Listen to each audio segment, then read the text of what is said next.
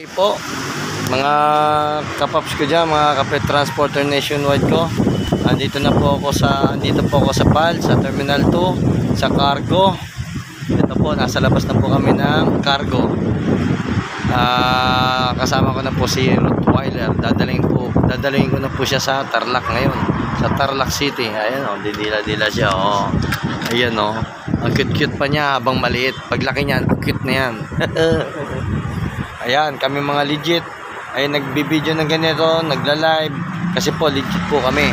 Gusto po namin ka, na makilala kami sa inyo lahat mga mga customers namin, breeders at sellers. Sana po naintindihan niyo po kami. Sana po wag po kayo magsisisi kung kayo makakakuha ng mga pet transporter na scammer, mga wala pong pag-iingat at pagmamahal sa mga hayop nyo. Ah, kami po ay nire-repair namin sarili namin. Lalo na po ako, ako po yung admin ng Legit Pet Transporter Nationwide. Ah, kami po ay may kompletong shipper by air local travel, saka international, saka sea travel, four wheels pet transport, VIP special trip motorcycle. Kaya kaya po, um, nasa inyo po yan. Hindi namin po kayo pipilitin kung kayo magpapapit transpo sa amin o hindi.